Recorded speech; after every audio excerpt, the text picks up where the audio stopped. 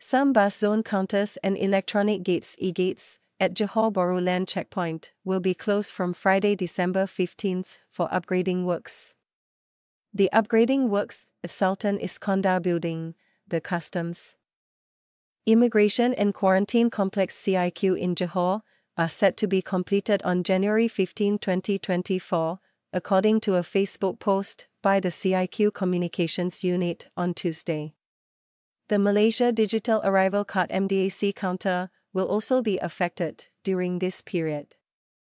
Eligible travelers who wish to use the e-gates at the checkpoint have to register their fingerprints at the MDAC counters on their first visit. They can use the e-gates on subsequent visits. Travelers were advised to take the closures into consideration when making their travel plans. Heavy traffic is expected during Singapore's school holiday period from November 16 to January 2. Singapore's Immigration and Checkpoints Authority ICA said previously.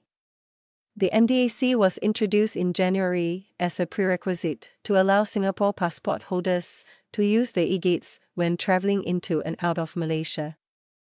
Malaysia's Immigration Department said that from December 1, the digital arrival card would be compulsory for all foreign nationals.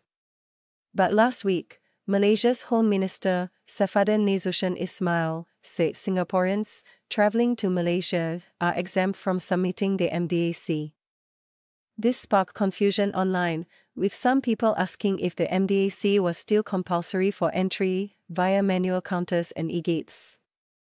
Earlier this month, an hours long power outage at the Johor Land checkpoint caused long queues at the immigration facility and heavy traffic on the causeway.